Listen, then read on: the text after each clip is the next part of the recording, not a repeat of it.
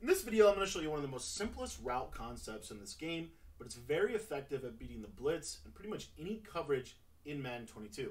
Now, if you're new to the channel, be sure to hit the subscribe button. I also want to let you know that I'm going to be talking today about the Y off trips Pats.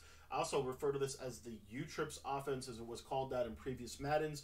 And if you want to learn my entire U trips ebook, I want to encourage you to join my Patreon. My Patreon is $10 a month, and for just $10 a month, you're going to get instant access and unlimited access to every ebook, every guide that I've released all season long, and every guide that I will release while your subscription subscription is active. So again, for just $10 a month, you basically get access to everything, and you can cancel whatever you want. I've already got 11 ebooks over there, four on offense and, and seven on the defensive side of the ball. So if you want to get better at this game, I would really, really encourage you to join the Patreon. There's a link in the description below. You can click that link, join for just $10, and like I said, you could cancel whenever you will like. Okay, guys, so the play we're going to be talking about today is Y option wheel. This is one of my favorite little plays out of U-Trips, and there's a lot that we can do with this play, but my favorite recommendation for how I would recommend people would run this play is relatively simple. All we're going to do is we're going to put the circle receiver on a five-yard out route.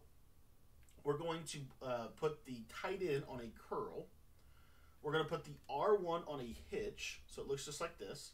And then we're going to put the square receiver, which is that solo receiver, on a flat route. So you see, this is basically what the play looks like.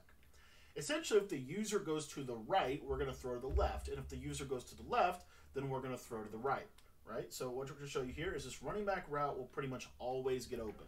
That running back route will be every single coverage of the game. I would argue that that route right there is probably the best route in Madden 22 for the running back. And the reason why is because of how successful it is against literally any coverage. So again here, this is the Meta Mabel coverage out of the Mike Blitz 3. And what you're going to see is we're just going to lowball that and get an easy 10 yards. Again, I love this concept because not just because it's so good in terms of getting you some easy short yards, but it's also really, really good if they were to blitz you. For example, here I'm going to go to the Mike Blitz 3 and we're just going to send the, the heavy pressure. And what you're going to notice here is right off the bat, I can easily throw the running back and get about 15 yards. Really simple. And again, like I said, we're going to watch what their user does. Now, in previous Maddens, one of the most popular ways for people to try to defend this is they would basically man the running back up. But in this year's Madden, all you have to do is basically throw it either inside or low ball it, depending on how the man coverage kind of works out. So I'm going to go to Mike Blitz zero here, and I'm just going to show you what this what this play would look like. And again, all you're going to do right here, just low ball inside, and as you see, I'm able to beat this for an easy 10 yards every single time. So that's my left side concept. I can beat every coverage in the game to the left. Now let's talk about the right side concept. So if the user goes uh, to the left side at the snap of the ball, then we have this concept on the back side. So you see what this looks like right here? We've got the hitch, the out, and the curl. 99.9% of the time your hitch should be wide open this year. The way the game works this year is yellow zones get pulled back by pretty much anything. And so if they're in zone coverage, it's very likely that your hitch is going to be 100% open. So that was uh, the Mike or the, the cover four drop. I'm going to show you the Mike Blitz 3 coverage here. And what you should see here is, again, the hitch should get open. You see here the hitch, they go out, you throw the hitch. Right there, I should have lowballed that. I could have possession caught that for an easy gain.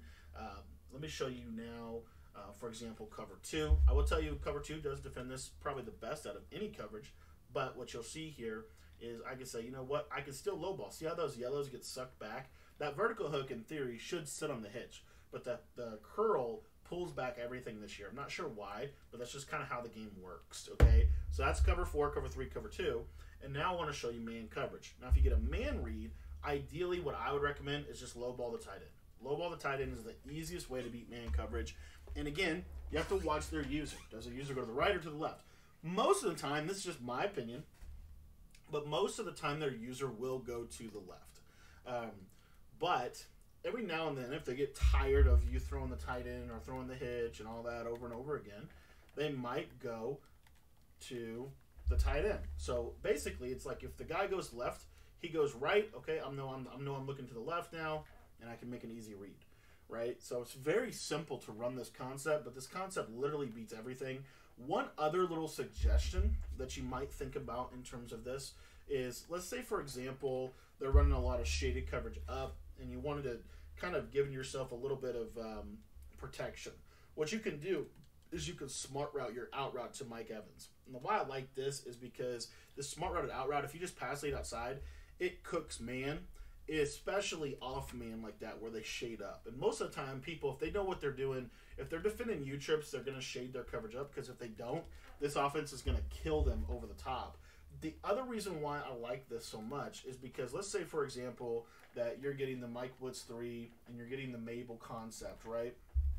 What I like about this is the smart routed out route will really pull these zones a little bit more. And as you can see, I can easily throw that hitch very consistently. So, you know, this is one of my favorite plays. Again, just to kind of uh, fill my opponent out, try to get into his coverage a little bit, just simple spacing concept. But it's really, really good. It's very difficult to stop. And it's going to put their user in a position where he's going to have to choose. Am I going to go to the right or am I going to go to the left?